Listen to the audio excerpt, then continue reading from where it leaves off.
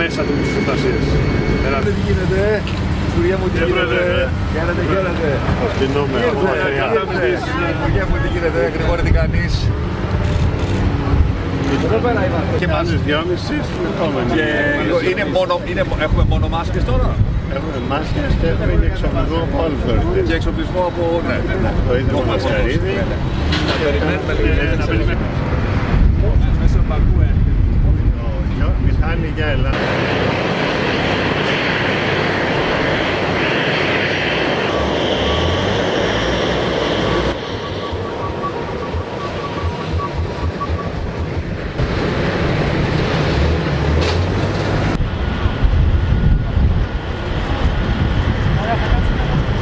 Και βρέθηκαν 13,5 εκατομμύρια μάσκες και θα έπρεπε να τις εξασφαλίσουμε δηλώνοντας την αποδοχή της αγοράς αυθημερών και καταβάλλοντας το σχετικό ποσό εντός 48 ώρων.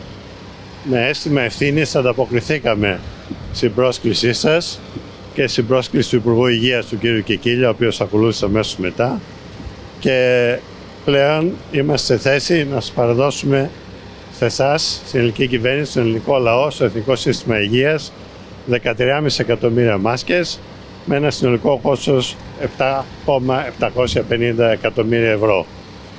Θεωρούμε ότι αυτό είναι ελάχιστο δείγμα τιμής και ανταπόδοσης στους γιατρούς, στους νοσηλευτές και στο διοικητικό προσωπικό των νοσοκομείων οι οποίοι μάχονται αυτή τη στιγμή για όλους μας, για την υγεία όλων μας.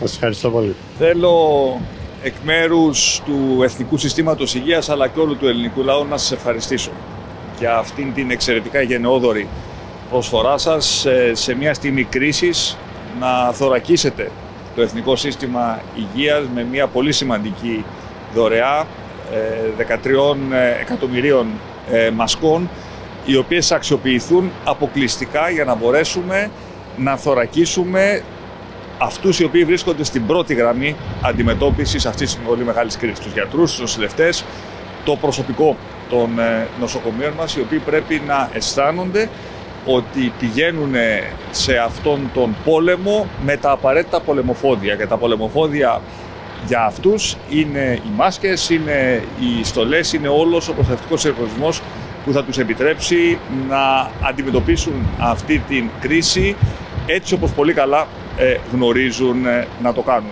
Και θέλω με την ε, ευκαιρία αυτή να ευχαριστήσω ε, όλες και όλους όσοι ανταποκρίθηκαν ε, στο προσωπικό μου κάλεσμα να στηρίξουν την ελληνική πολιτεία σε αυτές ε, τις στιγμές κρίσης. Σε όλα τα ε, ιδρύματα, μεγάλα και μικρά, αλλά και σε όλους τους μεμονωμένους πολίτες, οι οποίοι με αίσθημα ευθύνης και με απόθεμα αγάπης και κατάθεση ψυχής συνεισέφεραν και συνεισφέρουν σε αυτή την προσπάθεια. Διότι όσο συγκινητική και γενναιόδορη είναι η δικιά σας πρωτοβουλία, άλλο τόσο συγκινητική είναι και η πρωτοβουλία μιας γυναίκας στα Γρεβενά που μόνη της ε, έσπευσε ε, να ράψει μάσκες για να τις προσφέρει στο νοσοκομείο των ε, Γρεβενών.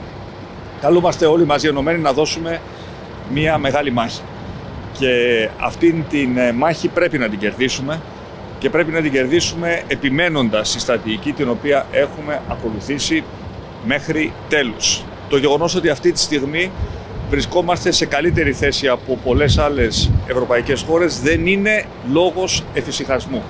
Θα πρέπει να επιμείνουμε ε, στις πολιτικές τις οποίες έχουμε ε, υλοποιήσει. Θέλω να ευχαριστήσω τη συντριπτική πλειοψηφία των Ελλήνων πολιτών που έχουν ανταποκριθεί στο κάλεσμα της πολιτείας να μείνουμε σπίτι, που όλοι μας έχουμε περιορίσει τις ελευθερίες μας για να υπηρετήσουμε έτσι το κοινό καλό. Χτίζουμε ένα πολύ μεγάλο απόθεμα εμπιστοσύνης, όχι μόνο στις δυνατότητες του κράτους να ανταποκριθεί σε αυτή την πρωτοφανή κρίση, αλλά και στους ίδιους τους δεσμούς, τους αρμούς της κοινωνίας μας, η οποία αποδεικνύει ότι την ώρα της κρίσης μπορεί να δράσει και να δράσει ενωμένα.